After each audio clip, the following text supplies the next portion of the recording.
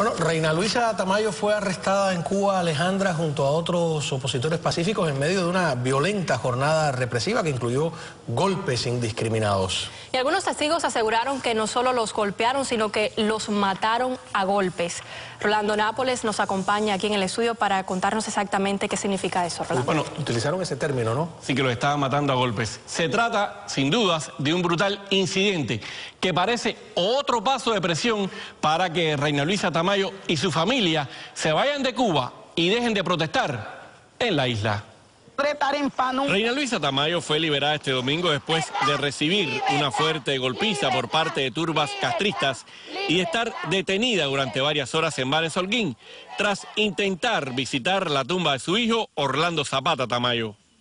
En las puertas del cementerio, una turba organizada por la Seguridad del Estado acordonó toda la entrada del cementerio y allí fueron detenidos, golpeados. A Reina la golpearon, la esposaron, le pusieron un paño de gasolina en la boca para que no gritara.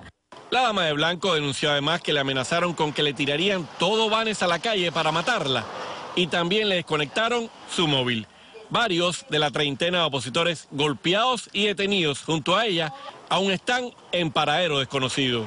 Hasta el momento eh, quedan una treintena de activistas detenidos, incluyendo familiares de, Zapata Tamayo, eh, incluso hijos de, de, Reina, que están detenidos. Las autoridades han dicho que los van a instruir de cargos. Esta nueva ola represiva se produce a solo una semana de que el próximo 6 de noviembre se cumpla el plazo de cuatro meses prometido por Raúl Castro para escarcelar a los 52 presos políticos del grupo de los 75 que estaban en prisión.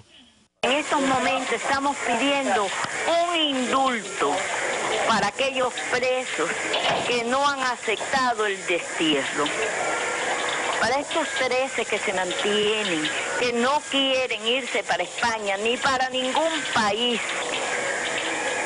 porque esta es su patria. Hasta ahora 39 presos políticos fueron escarcelados y enviados a España.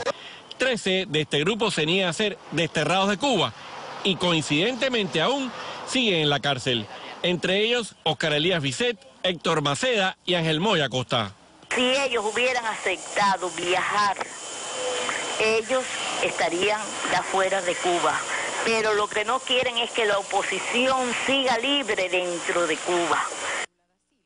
Bueno, y la Iglesia Católica Cubana anunció hoy que serán escarcelados otros tres presos políticos eso sí, ninguno de este grupo de los 13, del grupo de los 75, que rechaza irse de Cuba. Entre los que ahora serán liberados aparece Adrián Álvarez Arencibia. Fue detenido en el año 1985 y es el preso político más antiguo en las prisiones cubanas. Sigan con más en Noticias 41.